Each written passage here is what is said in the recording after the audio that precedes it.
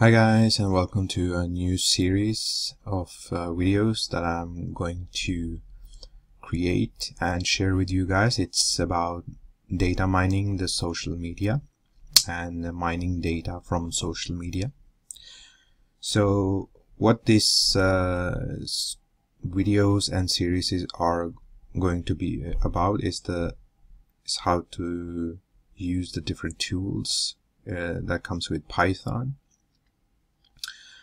so in the past few years, the popularity of social media has grown dramatically, with more and more users sharing all kinds of information through different platforms. Companies use uh, social media platforms to promote their brands, professionals maintain a public profile online, and use social media for networking, and regular users discuss about any topic. More users also means more data waiting to be mined. So you who are watching the, these uh, videos are likely to be a developer, engineer, analyst, researcher, or a student who want to apply data mining techniques to social media data. As a data mining practitioner, there is no lack of opportunities and challenges from this point of view. So in these uh, tutorials, I will try to give you the basic tools you need to take advantage of this wealth of data on social media.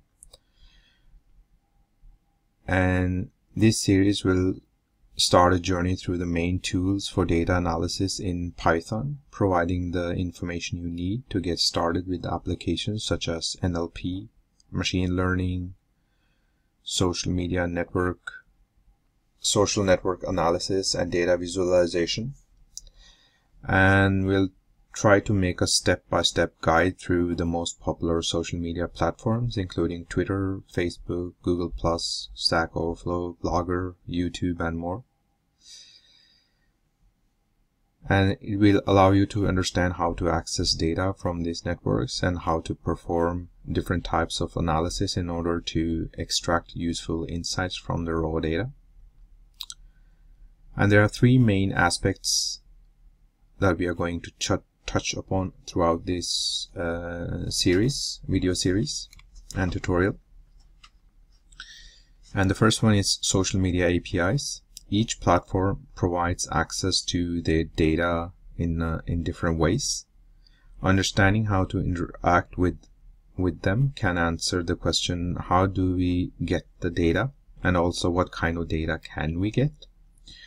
This is important because without access to the data, there would be no data analysis to carry out. Each chapter focuses on different social media platforms and provides details on how to interact with the relevant API. And the next thing that we will cover is uh, or the main aspect of, of these uh, video tutorials are data mining techniques. So just getting the data out of an API doesn't provide much value to us. The next step is answering the question, what can we do with the data? And each area of these video tutorials provides the concepts that you will need to appreciate that you need to appreciate the kind of analysis that you can carry out with the data and why it provides value. In terms of of theory, the choice is uh, to simply scratch the surface of what is needed without digging too much into details um, and and that actually belongs to the academic textbooks. So the purpose in this video tutorials is to provide practical example that can get you easily started. And the next main uh, aspect is uh, to talk about Python tools for data science. So once we understand what we can do with the data, the last question, how do we do it? Python has established itself as one of the main languages for data science. It's easy to understand syntax and uh, semantics, together with its rich ecosystem for scientific computing, provide a gentle learning curve for beginners and all the sharp tools required by experts at the same time. So this tutorials introduces the main Python library libraries used in the world of scientific computing such as NumPy, Pandas, NetworkX, X, scikit-learn, NLTK, and many more. Practical examples will take the form of short scripts that you can use and possibly extend to perform different and interesting types of analysis over the social media data that you have accessed. So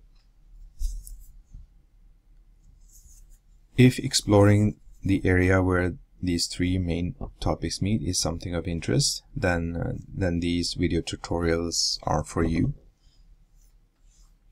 So what do you need uh, for this tutorial? The requirements are to have at least Python 3.4 or, or newer. That's recommended. We'll go over the more um, more of the requirements in one of the coming videos but and we'll provide some instructions to how to set up a local development environment and introduce a brief list of tools that are going to be used throughout the series.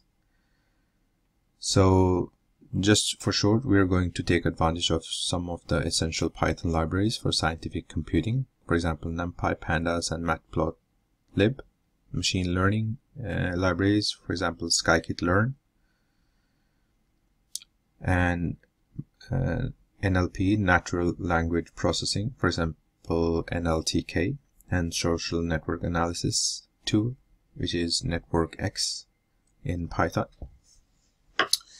So um, this is the short intro and uh, I will see you in the next video.